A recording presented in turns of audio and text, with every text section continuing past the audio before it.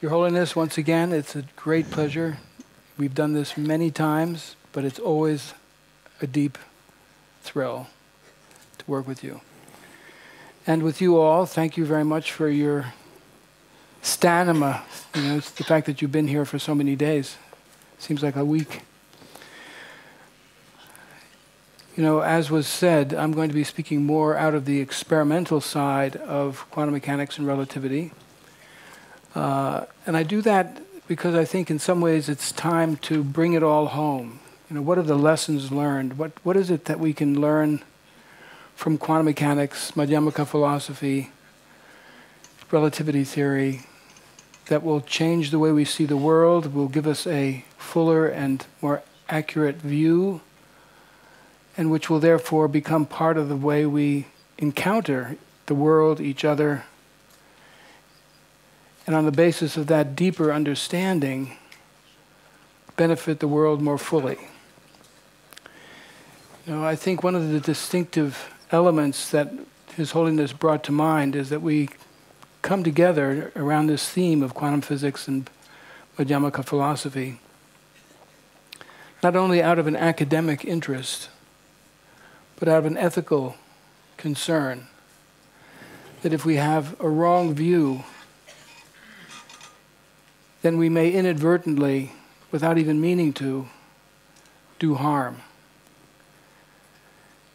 And so it's important that we understand the nature of our own identity and the nature of the world around us as fully as we possibly can. You know, Your Holiness, you like watches.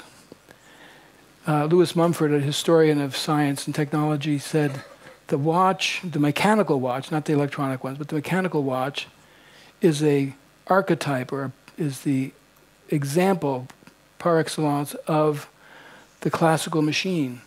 And thinking of the universe and ourselves as machines is patterned on the knowledge we have of the watch. The quantum computer cannot run the way a watch runs.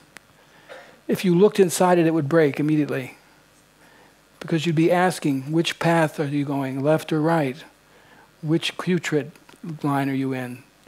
You would destroy the ambiguity, and it's the ambiguity that we need in order to run the quantum computer. So the quantum computer is not a watch. It's a new kind of machine that runs on ambiguity, but of a very precise kind. It's a strange idea. I'd like to uh, end with a, uh, with a little video that's meant to uh, be half fun and half serious, which emphasizes the importance of context and seeing things in relationship holistically. Can you uh, turn the uh, video on? Can you go? Which monster is larger? Can you see the monsters on the screen? The back, back one looks much bigger. But now take away the context and move them so that they're closer together. Oops, and put them on top of one another. They are exactly the same size physically, but when put against the context, one gets bigger than the other. And then there was a famous person who commented on this. Appearance is something absolute, but reality is not that way. Everything is interdependent, not absolute. Thank you.